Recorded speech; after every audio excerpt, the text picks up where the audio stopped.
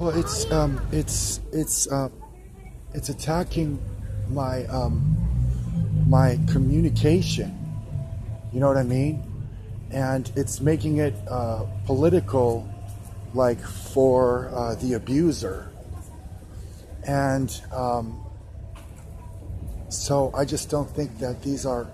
uh, normal relationships, and um, and I don't think that those are necessarily normal people, like having those relationships with other people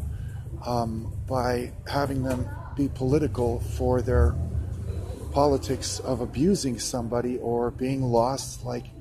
as the son of destruction, or um, or being lost, like as a as a as a as a biblical um, as as a biblical student, um, not understanding your religion, um, and um, I think that you're supposed to say to yourself that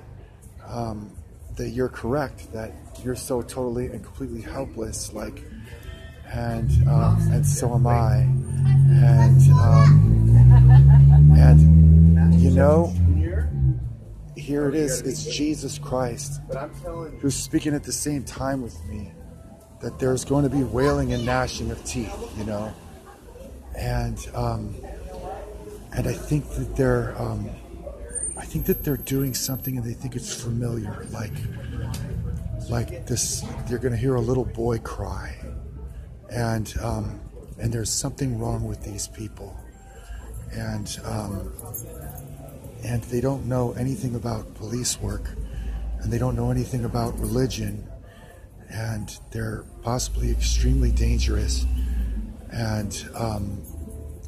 and they're trying to give you something about like um, a little boy cry, like that you're that they're giving to me because I'm supposed to I'm supposed to